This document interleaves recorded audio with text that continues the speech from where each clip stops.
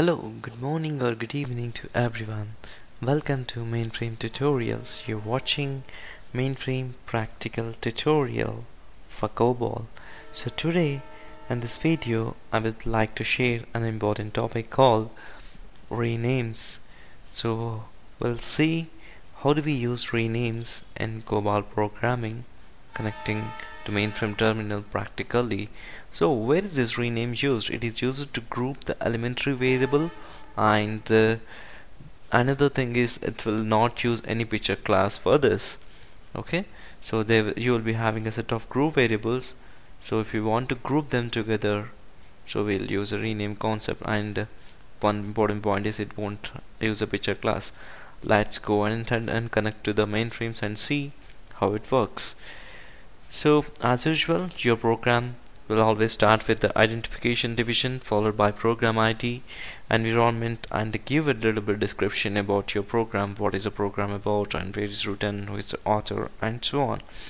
So next would be the data division and next I'm trying to give a working storage section where here I'm trying to declare a variable group variable which is WSA and I have to declare three variables called WSA1, A2 and A3 A1 stores a date and A2 stores a date of month and date and A3 storing an entire year. So what I'm trying to do is uh, I'm trying to rename it to I'm trying to combine A1 A2 A3 into an A1 A2 A3 and rename it WS A1 through A3 so that A1 A2 A3 is merged together and stored in A A1 A2 A3 and uh, another important point as I said here it won't use any picture class. So here just straightly you can see that renames is not using any picture class over here. Okay? Then next we will move to the procedure division which is the main processing division where actual programming logic is defined. So we in procedure division as you know we'll be dividing into the paragraphs. So since I'm into the main paragraph so I'm writing it as a main para. So here is a display. What I'll do is since we have declared three different variables just I'll try to display these three variables so that A1 should display date and A2 display 527 and 2014 then when I display when I try to display A1 A2 A3 it has to display display these combined strings together so this is how the COBOL program looks. Again to recap, program always start with identification division, program ID, environment division, data division, working storage section, uh, and you're declaring a variables, then followed by procedure division, sign the display statements. Okay, now let's, what is the next step to in order to run your COBOL program? So what we need to do, so now you have your source code, that is your COBOL code, this is so you need to convert into a machine understandable code right? So that is the reason in order to understand by the machine understandable code. So what you need to do you need to compile and keep it make it understandable by the machine. So in order to do that we need to run it through COBOL program. So IEWL link edit. So compilation and link edit will happen in the compilation to create the load module. So make sure this is the proc which I'm using uh, to code this. So proc name is IGYWCL which is the IBM supplied one. So cobol.sys in here you need to give specify your program path. And if you're using any copylib you'll be providing your copylib then where do you where do I store my load module after this compilation process? Just load your load module in this so and so library and the name should be name.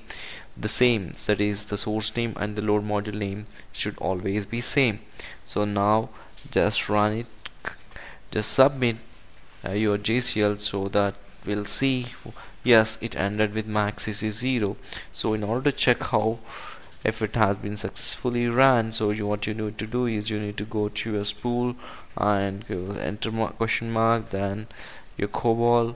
So you can see that your COBOL written code is zero and also you can cross check the your compilation code. So which which uh, it's called as a coding sheet of the COBOL. So you can see all the variables and I don't have any issues and also cross check in this JES message log. So where you can see which stuff has been successfully completed or written code is zero 0 step was executed successfully completed and uh, condition code is 0 so this is how you have successfully compiled your COBOL program. So what could be the next step? So first is writing in a COBOL program using um, MPDS member the according to the COBOL standards and then the compilation of the COBOL program to get the object module of this COBOL program. So next step is using that object module you need to execute or run your COBOL program. So how do you run it? So you need to write a separate JCL to run your COBOL program. So this is your run JCL where you have a job card and you have your program name defined at the step level and you have to define your load module path where your load module was defined so that whenever it reads this program name equal to renames first of all it will look into the STEPLIB library that is v below library so that if it is there in this load module then only your job or your program gets executed and you can see the results. Let's go ahead and see. I run it. So it ended with my access is 0 in the same way. Now I would be going to spool and in spool I can see that you have a SYSOUT created. So first we were discuss first we what we trying to display uh, we are trying to display WS A1 A2 A3 then the combined word. So first it is displaying date 527 and then 2014 2014 and then the combined entire text. That's how this is how a uh, COBOL program uh, with renames looks like. So just to recap renames is uh, too much the three different fields into one field and it doesn't have any picture class in it. So this is how a rename COBOL program looks and uh, we have covered the COBOL program compilation and execution. Now in running a COBOL program as I said here uh, if you are using a COBOL program you should match with your load library.